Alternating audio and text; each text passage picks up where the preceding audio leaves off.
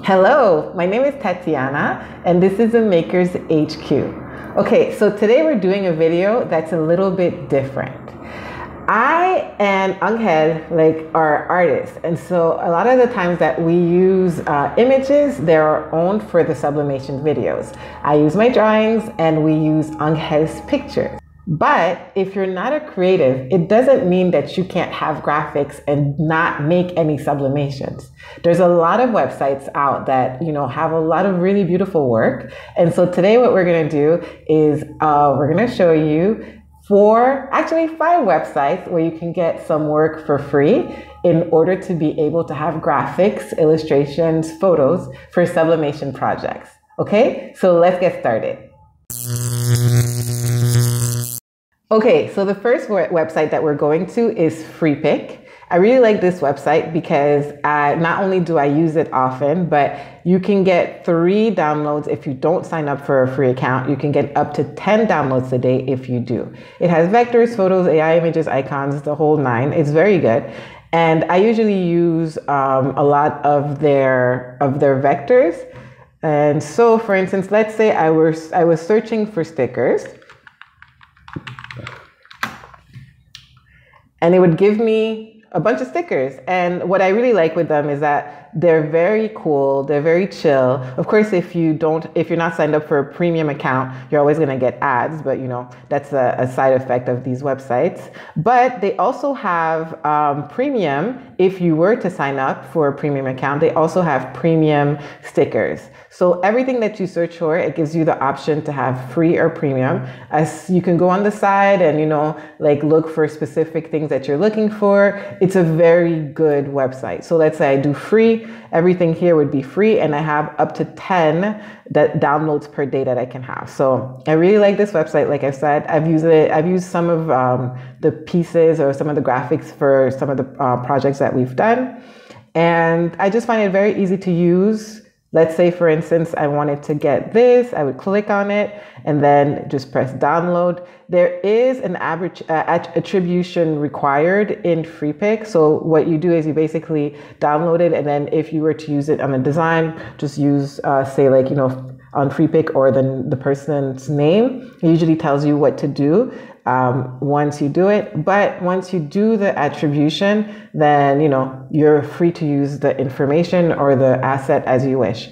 Every single website I'm going to show you, it's important that you look at what the license is, what it is that you can put it on, how you can use the pieces, because you don't want to go back and you know your your piece blows up or whatever it is and then you're like oh my god i didn't know no everything has information about the license so the next website is, let's see, um, I'm going to go to Raw Pixels Glass, Pixabay, which is a website that Angel really likes to use. Let me put it here in the front.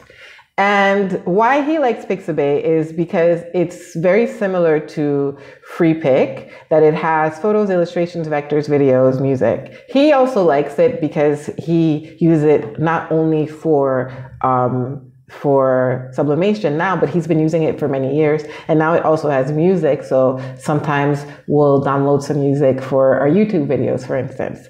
But it has the same concept. You can go on with an account. I believe you can have as many assets as you want. Um, and let's say that you wanted to get, look at this pattern print, flowers.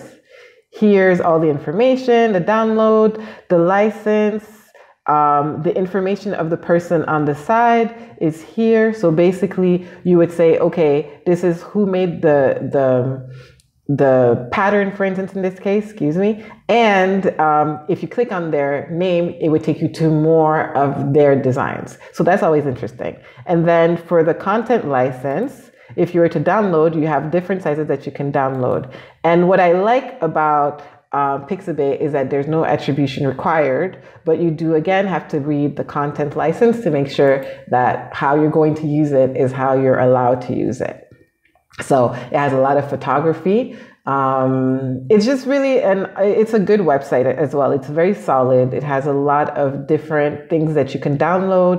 And if you do not have any skills, or if you want to take an image, for instance, let's say you downloaded this image of the leaves, you could take it and maybe bring it to something like Canva and make it a little bit more yours, maybe change the colors. And so you wouldn't just have what you find here, but you would have something that was more of your design as well, right? And that's what I think is a good thing about these websites because they are a good starting point for you to be able to get, like, make your own designs in a way. As I said, Angel and I are artists. So a lot of times when we go there, we either just take a part of it or completely change the colors or like move things around or you know incorporate it within our own designs um, but you don't have to do all that but if you are if you do have some type of skills with photoshop or with some photo editing uh, software then it's it's just awesome because you don't have to start anything from scratch. You can actually have something that you work from. Okay so the next website let me see. Um, okay, so Vecteezy is not my favorite website at all, but I put it on the list because it again has free vectors, free photos, videos, and um, since we're talking about here here specifically about um, sublimation, then um, I mean, like I said, it's not my favorite. Let me see. Let me go to people. It's not my favorite website, but it's a solid website to find work in. It might be more your style. And so if you were to go here, for instance, and say, okay, I don't know, I want to put um, this gang of people on something. Let's see. So, oh, in this case, it's a pro download. So I'm talking about free, but this is super cute. So I would, I would actually visit the pro. I would actually visit to see how it costs, how much it costs for the pricing because um, I actually like that one. Uh, so yes, that's what I forgot. For Vecteezy, when it's a free download, it actually has to say free on it. Otherwise, it will not say anything. And so if you click on this image, for instance, it's a pro download. But if not, then it will have a tiny tag in white on the corner and it, it will say free. So Vecteezy is one of them. Not my favorite, but you know, it is on the list. Um, now we're going to Pexels, which I adore as a website. However, Pexels is photos and videos. It's not um, graphics, it's not vectors, it's photos and videos specifically. Why I really like Pexels. First of all, I find the photography really beautiful on it. And so it's a very good inspiration for me to go through sometimes. And maybe if I have an idea, like for instance, something to start from, like maybe take mountains and then remove the sky and maybe do something with it. That's the type of thing that I would do, more collage work. Um, but apart from that, like taking maybe a section of it and that would become the design. So I don't recommend because it's a photo. I don't recommend that you go to Pexels and just take whatever is there and make it and put it on a t-shirt or put it on a sweater or put it, you know, like this is cute. I love you, but don't touch my pizza. Maybe you could incorporate that. Let's say you have something else and then you put it maybe like on the back of, I don't know, a pizza, a set of pizza plates, you know? So, um, you I don't recommend that you just go in because at the end of the day, it's people's work, right? Um, and I know that it's used, it's for free, but this is just my own personal opinion. Um, it's still somebody else's work. So unless you want to go in and take all their pictures and make it into your own, that wouldn't be something that I would find would serve you. But if you wanted to, for instance, take a portion of a picture and make it into something, maybe you don't have the uh, photography skills to be able to go out and get something and take the pictures that you want. But maybe you want to put like a lighthouse on something, or maybe you want to put the word casino on something, you know? Um, I think that that could be an interesting place for you to start. Maybe here, if you want to do like a Christmas scene, maybe just take, do a portrait or cut out the portrait of, of like right here at this point. Um, Things like that is what I like Pexels for. But it's a stunning website. It's also a stunning website just for inspiration, um, but not necessarily, it doesn't necessarily have uh, illustrations, assets, vectors, or anything like that, other than photography and video. Okay?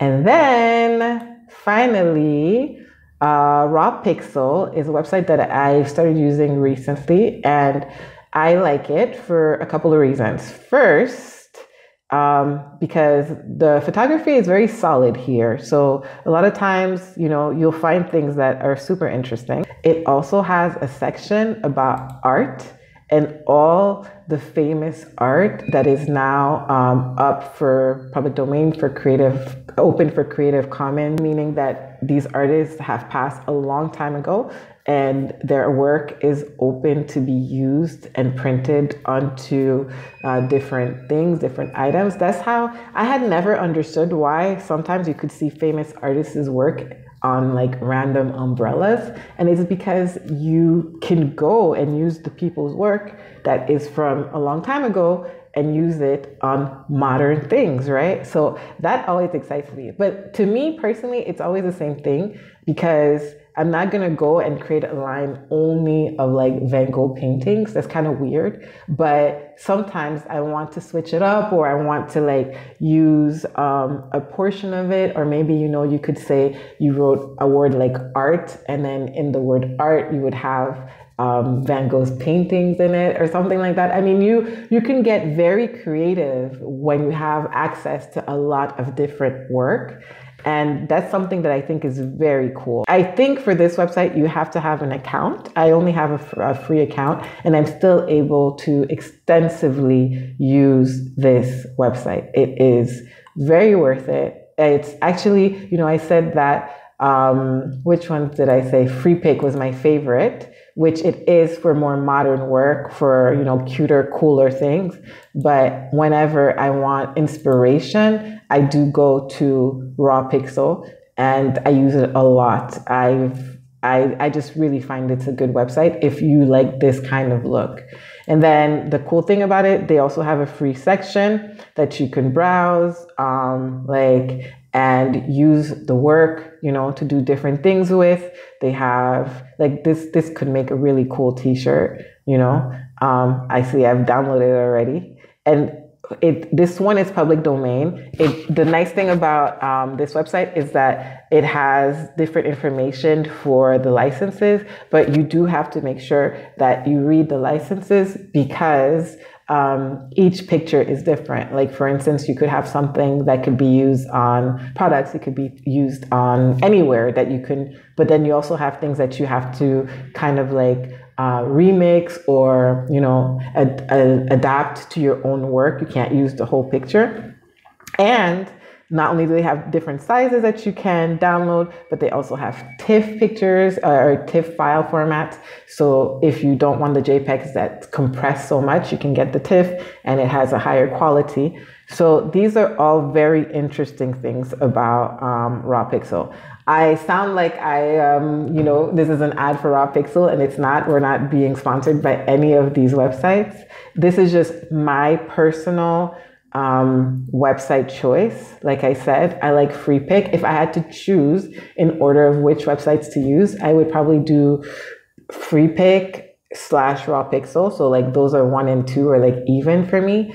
I would use Pixabay. Then Pexels probably, even though it's gorgeous website, I would use it like mostly for pictures or inspo. And personally, I would use Vecteezy last if I couldn't do anything just because I don't really like the quality of the work that is on there. And also because I find it more like older, especially since nowadays things are looking so beautiful, right? So I, it's not my favorite, but I did add it because maybe that's your, your type of thing.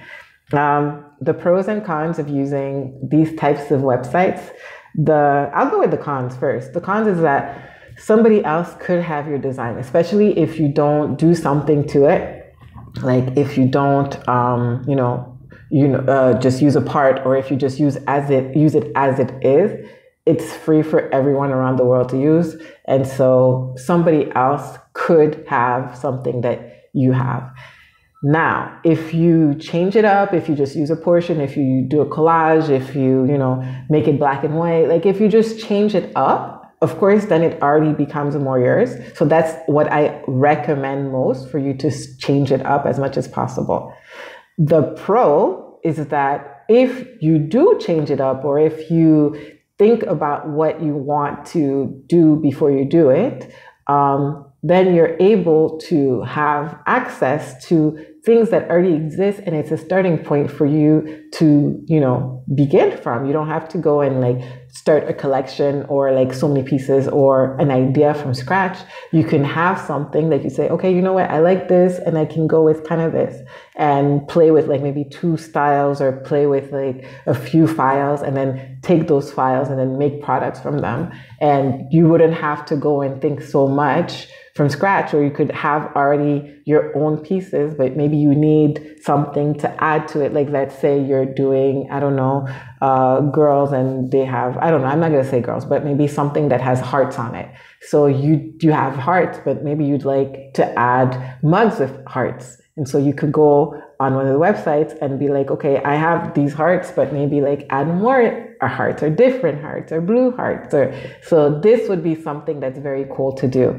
I really recommend um, that when you start on the websites, that you don't go, which is what I do, but don't do what I do, is you don't go blind, like with no idea, just you feel like browsing and you're like, oh, let me see what's new. No, because you're to be downloading so many things and then you're not to use those things and they're to stay on your drive, on your computer, whatever it is. And you're to be like, what the heck? So I recommend that before you go, you have an idea of what it is that you're trying to do so that you're able to just go in and at least with an idea. Yeah, you might get down the rabbit hole because they're so cool, but at least let's say you're looking for, I don't know, graphics for kids or I would even go further than that. I wouldn't go graphic for kids. I would go like, I don't know, um, baseball graphics for kids. Okay. I don't even know why I said that, but randomly. Baseball graphics for kids. So you would go and you would look at baseball things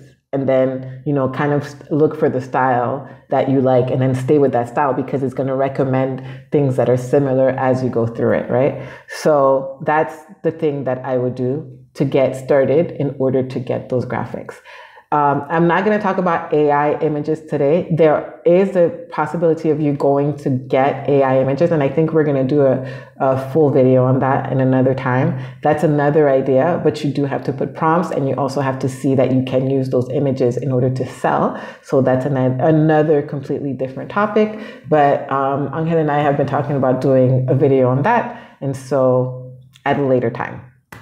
And I think that that's it. I just would like to say if you do end up using these types of images, have fun. You know, it shouldn't be so serious. We're making cool things and sublimation is fun. And so just have fun choosing images that you like and have fun creating products that you like. And that's it. Okay. So if you like this video and if this video brought you any value at all, please uh, like it, leave us a comment if you have any websites that you go to and please consider subscribing. All right. So hopefully this was helpful and I will see you next time. Bye.